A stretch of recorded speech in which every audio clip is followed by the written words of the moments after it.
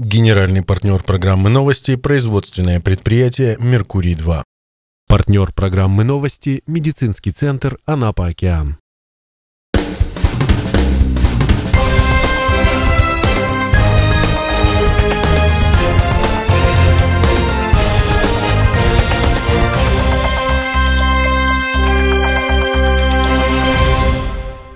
В эфире новости Анапа регион. Я Ирина Меркурьева. Здравствуйте. Итак, смотрите сегодня в выпуске. День памяти и скорби. Сегодня в Анапе вспоминали жертв политических репрессий и политики расказачивания. Сильные стороны слабого пола. На фестивале «Красота, грация, идеал» женщины со всей Кубани доказали, что они не только красивые и грациозные, но еще и спортивные. О чистоте окружающего мира и душе говорили поэты, прозаики и музыканты на творческом вечере, посвященном Году экологии.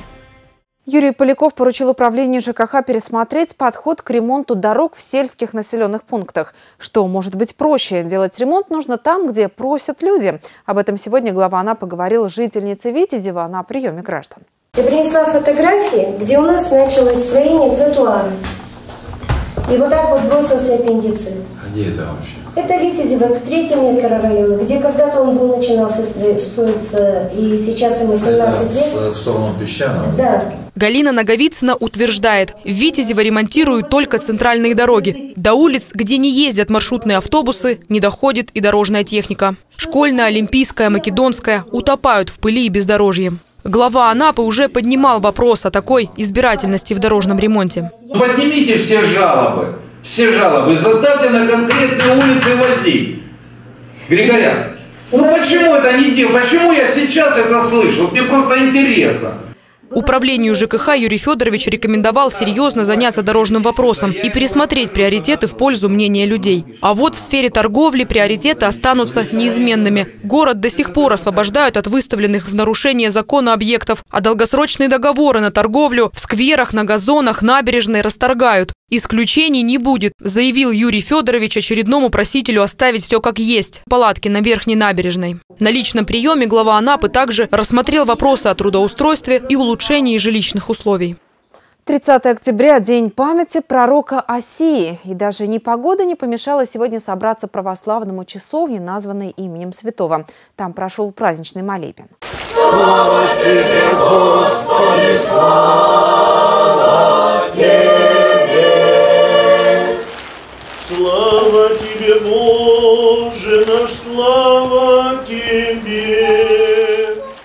Праздничный молебен пророку Осии отслужили духовенство Свято-Ануфриевского храма, протеерей Геннадий и протодиакон Иоанн. Для анапчан пел хор Свято-Ануфриевского храма. На этом самом месте в 1937 году был разрушен храм святого пророка Осии. Интересно, что даже до строительства часовни каждый год 30 октября на Свято-Осиевской площади собирались православные и служили молебен в память о святом. Православные традиции сильны и сегодня. Духовная жизнь объединяет людей, дает им волю волю и стойкость к испытаниям.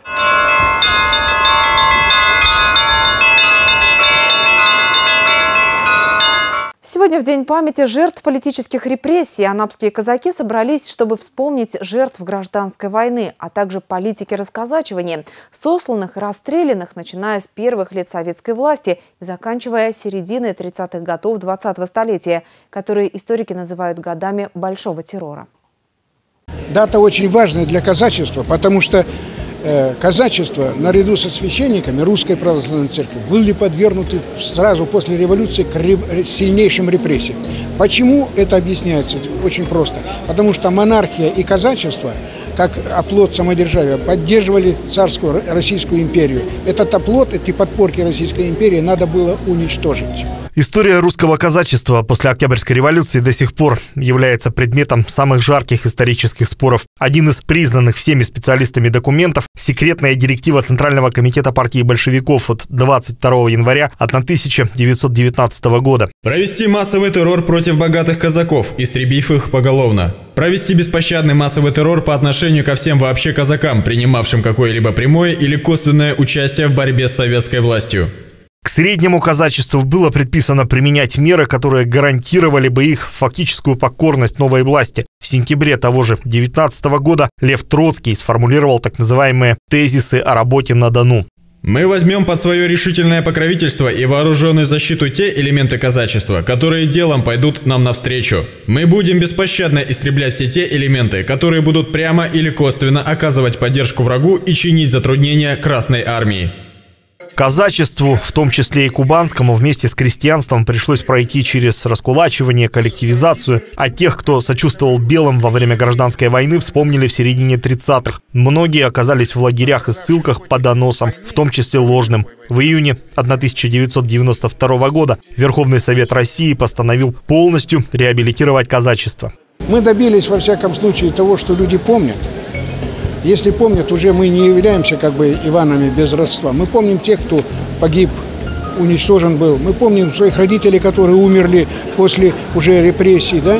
но они с честью выполняли свои гражданские обязанности перед Родиной, служили, работали, воевали. У меня папа воевал, медаль за отвагу имеет. Мама медаль за доблестный труд в годы Великой Отечественной войны кочегаром на паровозе работала, была, на правильно работала.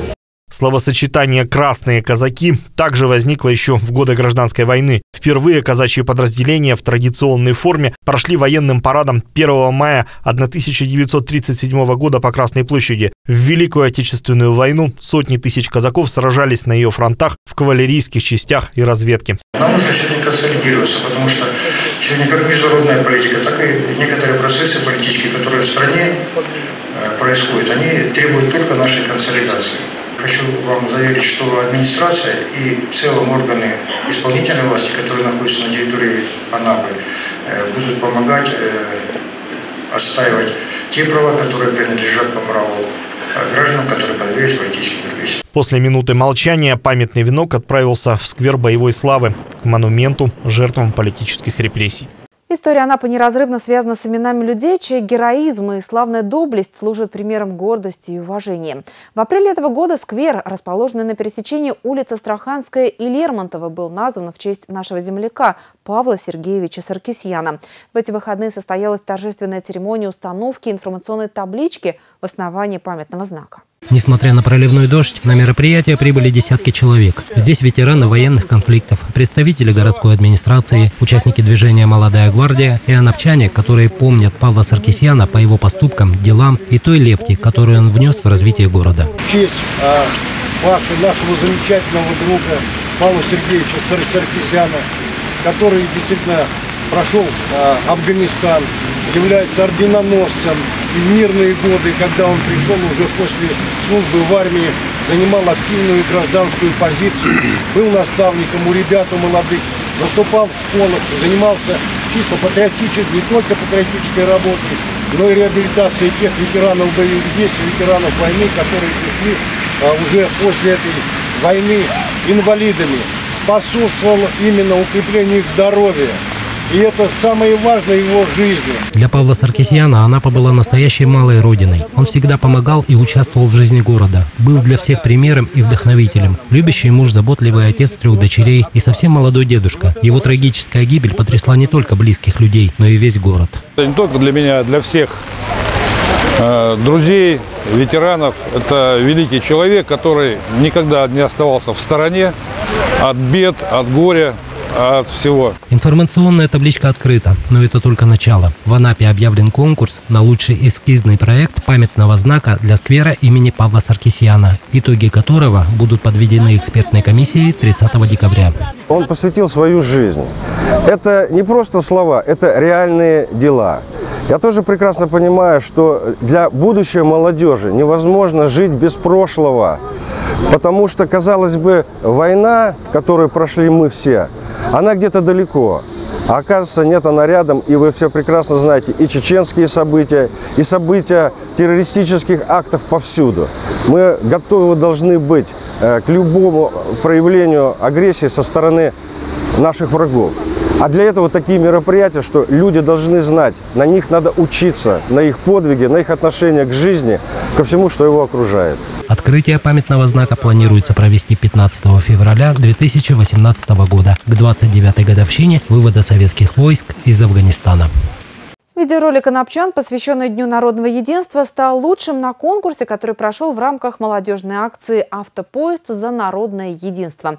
Мероприятие прошло в Крымске и объединило молодежь из 10 муниципалитетов. Я хочу пожелать единства нашему народу. Безусловно, быть открытыми людьми, ничего не бояться, ничего не стесняться. В первую очередь это быть дружным, толерантным друг другу. Простые пожелания. Как пояснили авторы, они постарались сделать ролик максимально простым, потому что все сложное состоит из простых вещей, благодаря которым становится интересно жить в городе, регионе и стране в целом. И этим настроением хочется делиться со всеми в мире. Сила! Около ста участниц со всего Краснодарского края приехали в Анапу на уже традиционный фестиваль женского спорта «Красота, грация, идеал». Программа была рассчитана на два дня, включала в себя как физические упражнения, так и творческую часть. Оригинальная хореографическая композиция, домашняя заготовка. Одна сторона медалей, которые уже ожидают своих обладательниц. Другая – упражнения из комплекса ГТО, отжимания, пресс, а также гибкость.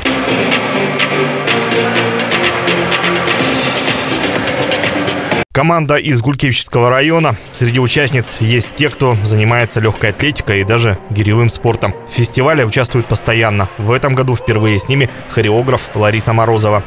Прекрасно, очень хорошо, тепло встретили нас и хорошие организационные моменты. Мы думаем, что начало было положено замечательно. Как хореографу мне интересно посмотреть, чем живут другие районы.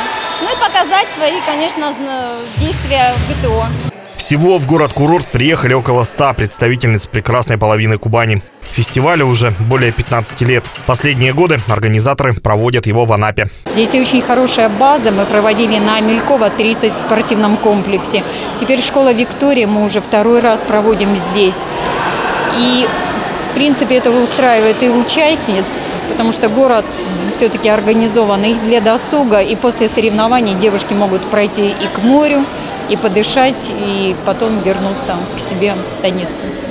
У анапчанок, как рассказала Елена Кузнецова, маленький дружный коллектив, с которым они ездят на самые разные соревнования. Мы готовы, у нас очень дружная компания, мы достаточно часто ездим на всевозможные соревнования в разные города, и Краснодарский край, и за пределы, и мы дружно выступаем и готовы сегодня показать, на что мы способны. Мы все мамы, у нас у всех есть дети, но мы находим время на занятия физкультурой. В этот раз анапчанки заняли восьмое место. Третье у спортсменок из Краснодара. Второе у Туапсинского района. На вершине пьедестала почета команда Успенского района. В каменном зале Центра культуры Родина в минувшие выходные прошел творческий вечер пяти анапских поэтов «Пусть шумят деревья над Россией», посвященный году экологии. Авторы посвятили его экологии не только окружающего мира, но и человеческой души, которая, как природа, нуждается в чистоте и заботе. На творческой встрече выступили члены литературного объединения «Парус» Любовь Ишунькина, Екатерина Борисова, Людмила Францевич, Сергей Левин и Лариса Каменщикова. Лирического настроения добавили песни бардов Валерия Борисова и Геннадия Богданкевича. Он в прошлом кадровый военный, большую часть жизни отдал военно-морскому флоту, а выйдя на заслуженную пенсию, посвятил себя искусству. Идут а быстро и лучшие года пройдут, а мы и не заметим. У меня несколько циклов песен. Первый цикл, конечно, песни о, о службе, о военно-морской службе. Вот. Второй цикл лирика и патриотика третий цикл. Ну а берется это все, я не знаю, берется изнутри. Сюжеты разные бывают. Просто иногда что-то мгновенно получается. Увидел что-то интересное или же наоборот что-то, что может э, человека напугать и как-то раздражать. И получается какой-то сюжет. Имя Людмилы Францевич внесено в книгу «Знаменитые люди Кубани». Она поэт-прозаик, член Союза писателей России. Ее стихи наполнены удивительным теплом и спокойствием. И, как признается она сама, в основе каждого прожитое мгновение. На свидание иду, в горсти крошки зажав, с миром тем, у которого надо учиться быть доверчивым, верным, все мое творчество – это моя биография, это моя жизнь. Она э, выплескивается на бумагу в, вот в такие моменты, когда хочется поделиться с друзьями. Я, наверное, еще эмоции подключаю, поэтому Надеюсь, что я не напрасно пишу.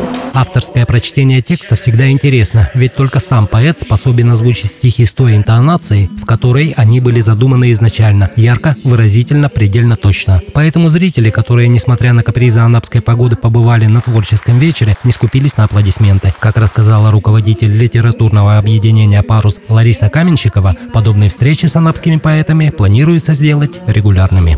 Далее информация о погоде на завтрашний день. Партнер прогноза погоды – фирменная сеть магазинов «Тавровские мясные лавки». В Тавровских мясных лавках молочная Тавр вареная 218 рублей. Солями финская с можжевельником 299 рублей. Сосиски тавровские 188 рублей. Тавровские мясные лавки в Анапе. Парковая 93А, Крымская 98, Амелькова 28 и Астраханская 75А. По прогнозам синоптиков, 31 октября в Анапе ожидается пасмурная погода. В течение суток возможны дожди. Температура воздуха днем до плюс 10 градусов. Ночью прохладнее 7 выше 0. Ветер западный от 10 до 12 метров в секунду. Атмосферное давление 755 миллиметров ртутного столба. Температура морской воды плюс 13 градусов. И в завершении выпуска информации о наших партнерах. Производственное предприятие «Меркурий-2» успешно ведет строительство многоквартирного комплекса «Кавказ». Строительная компания приглашает приобрести надежную недвижимость по разумным ценам. Деловой партнер программы «Новости» медицинский центр «Анапокеан» предлагает качественную комплексную медицинскую помощь, начиная от первичной консультации и диагностики, амбулаторно-поликлинического и стационарного лечения, включая реабилитацию. Доверяйте свое здоровье профессионалам. Все выпуски новостей вы всегда можете найти на нашем сайте anapregion.ru. Я с вами прощаюсь. До встречи. Доступные квартиры в комплексе «Кавказ» от надежного застройщика «Меркурий-2» в курортном районе Анапы. Детские и спортивные площадки, автопарковка, квартиры с видом на море. Рассрочка оплаты. Первая очередь уже сдана в эксплуатацию. Звоните 48 300. Социальные дни в медицинском центре Анапа Океан. Первичный прием специалиста абсолютно бесплатно. И скидки до 20% на весь спектр услуг. Анапа Океан. Ваше здоровье в надежных руках. Подробности по телефону 424 19.